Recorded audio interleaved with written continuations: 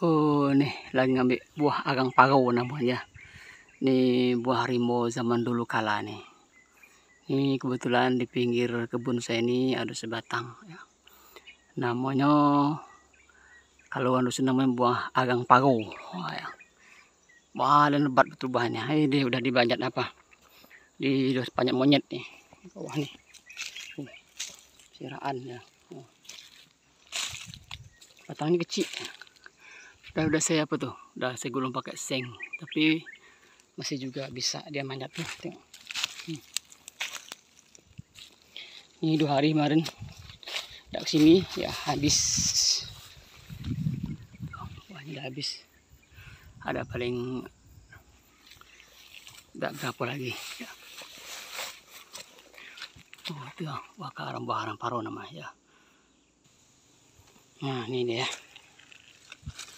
nih nih. Buah arang paru. Harusnya namanya buah arang paru. Kalau orang mungkin biasanya nyebut rambutan apa? Rambutan rimbo ya. Maksudlah jenisnya rambutan rimbo. Cuman rambutan rimbo tidak seperti ini. Rambutan rimbo biasanya e, masih punya apa?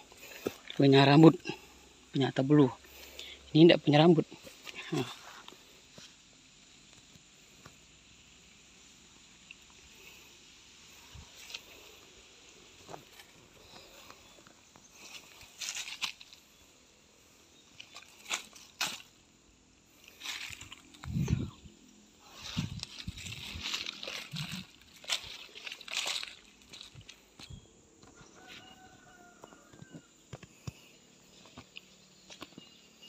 Ini tidak manis dah cuman apa? Cuman mengingatkan masa-masa waktu kecil di kampung dulu sering ambil buah ini. Bikin kebun.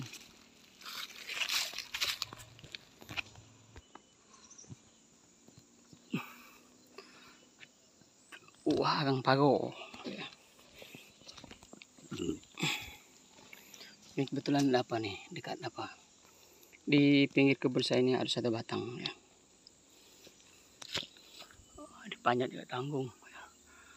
Di, di masa saya kebun ini buat ini udah dua kali buahnya baru juga nih habis dimakan apa dimakan monyet nih kulitnya seraan ini tidak manis tapi memiliki uh, aroma dan rasa yang khas ya buah rimbo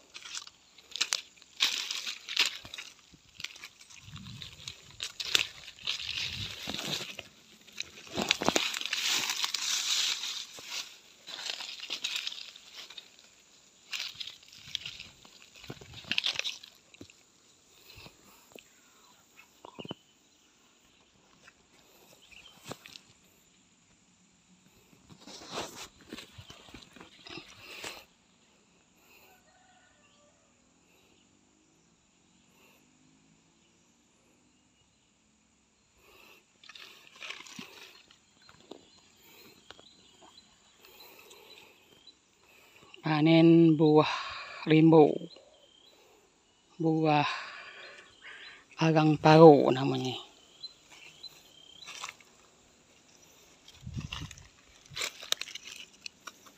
Habis dimakan apa? Makan monyet. Eh udah, saya apa tuh? Udah saya gulung pakai seng. Bisa juga dia monyet karena batangnya kecil nih. Batang kecil. Bisa dia apa? Bisa di uh, peluknya ya. Ini habis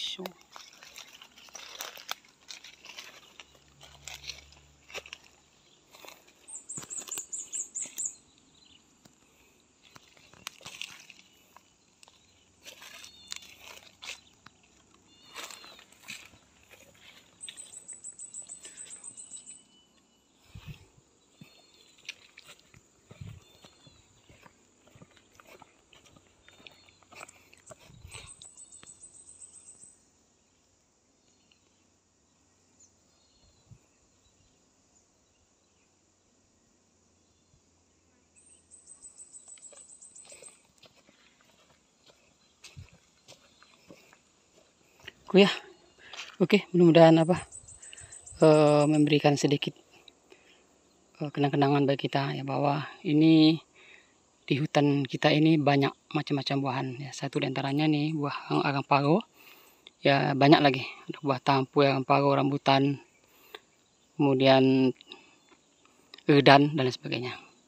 Ada juga buah apa kudu biawak dan sebagainya. Assalamualaikum warahmatullahi wabarakatuh